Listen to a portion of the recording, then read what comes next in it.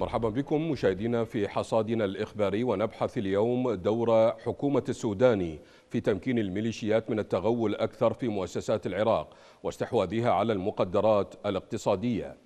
فمع تشكل حكومة السودان أصبح الإطار التنسيقي هو المتحكم الفعلي بالمشهد السياسي في العراق حيث شكلت هذه الحكومة تجسيدا تاما لنهج المحاصصة الطائفية الذي مكن وهيأ لقواعدها حزب الدعوة منذ تشكيل حكومة نوري المالك الأولى.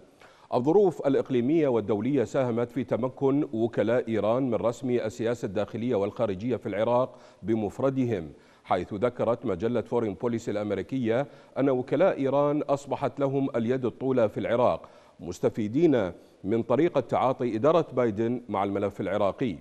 وكان لكتل الميليشيات السياسية النصيب الأكبر من الدرجات الوظيفية والمناصب الحساسة في حكومة السوداني مثل وزارة العمل التي ترأسها القيادي في الميليشيات أحمد الأسدي ووزارة التعليم العالي التي ترأسها القيادي في ميليشيا العصائب نعيم العبودي. وتحت شعار مكافحة الفساد بدأت حكومة السودان بتصفية خصومها لا سيما الأشخاص المرتبطون بالتيار الصدري عبر تشكيل لجان مكافحة فساد التي استهدفت أيضا شخصيات في حكومة الكاظمي وبالاعتماد على قرارات قضائية مطوعة سياسيا لصالح إطار الميليشيات. وباعتبار القضاء جزءا مهما في تمكين قوى الإطار في اللعبة السياسية أصبحت المحكمة الاتحادية رمزا للمساومات الطائفية إثر استغلال الجهات المسيطرة عليها والموالية لإيران لكسب المزيد من النفوذ وتسهيل دعم الكتل والأحزاب السياسية في تعزيز السلطة بحسب ما ذكره معهد واشنطن لسياسات الشرق الأدنى. وخلال أكثر من سنة مرت على تشكيل حكومة السوداني لوحظ هدوء نسبي على مستوى حراك الميليشيات المسلح ضد خصومها. الأمر الذي فسره مراقبون بأن الميليشيات الولائية باتت تتحكم تماما بكل مفاصل الدولة ولم تعد تجد من ينافسها على النفوذ السياسي والاقتصادي. طبعا على الصعيد الأمني زادت الميليشيات من قبضتها على المناطق التي هجر منها أهلها وحولتها إلى معسكرات ومستودعات ذخيرة ومراكز لشن الهجمات.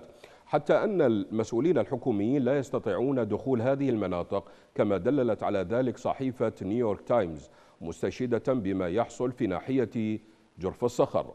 على الصعيد الاقتصادي. قام السوداني بإطلاق عدد من المشاريع التي تتناغم مع المصالح الإيرانية وتخضع العراق على المستوى الجيوسياسي للنظام الإيراني بشكل كامل مثل شركة المهندس المرتبطة بالحرس الثوري ومشروع الربط السككي بين إيران والعراق والذي سيؤدي إلى تهميش موانئ البصرة.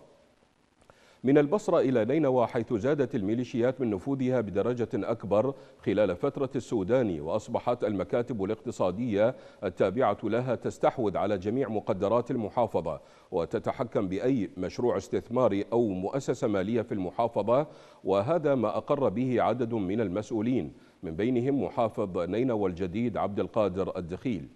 وبشكل عام تمكنت قوى الإطار التنسيقي من القضاء على الشكل التقليدي لمفهوم الدولة ووضع اللمسات الأخيرة لدولة الميليشيات لتعلن عن انطلاق مرحلة جديدة حولت العراق لمصدر قلق واضطراب ليس على المستوى المحلي فحسب وإنما على المستوى الإقليمي كذلك.